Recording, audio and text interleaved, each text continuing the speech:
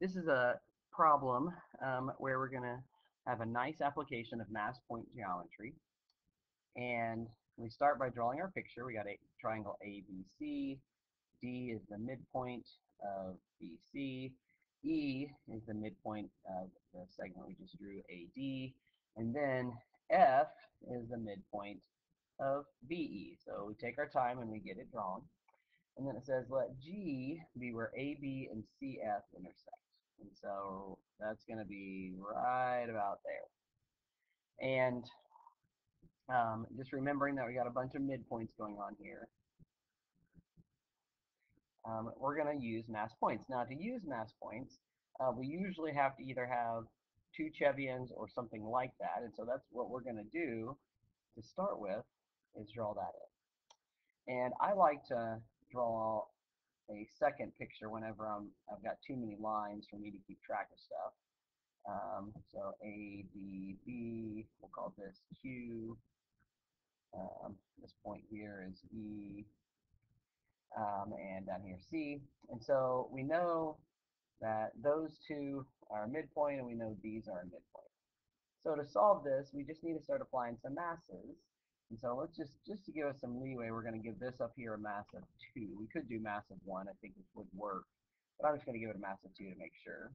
Um, and so this is going to be a mass of 2 down here because they have the same, which means this is a mass of 4 because D, um, we find that mass by adding the masses of B and C. Then A has to have the same mass as D, so that's got a mass of 4 also because the ratio of AE to ED is 1 to 1, so the ratio of the masses A at A and at D has to be 1 to 1.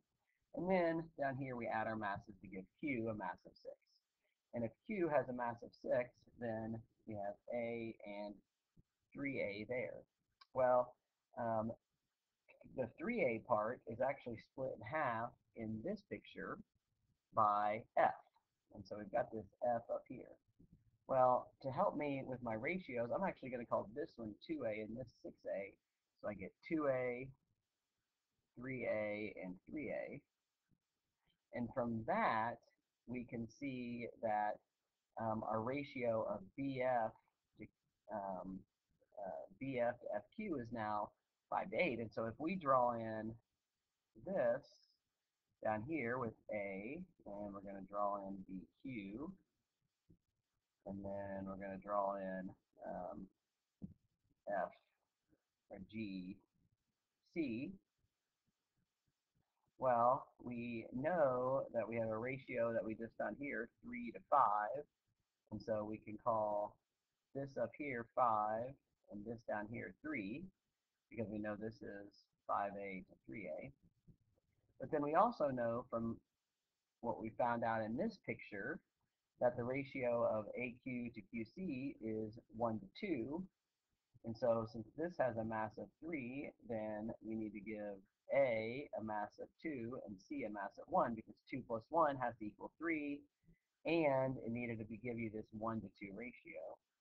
Now we've actually solved the problem because A has a mass of 2, B has a mass of 5. That means GB, this segment, um, actually we did AG first, right?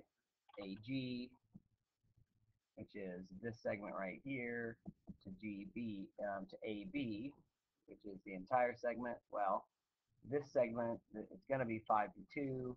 Um, AG to GB, which means AG to AB, is just going to be 5 to 7. And so AG to AB is simply going to be 5 to 7. And it's a nice creative use of mass points.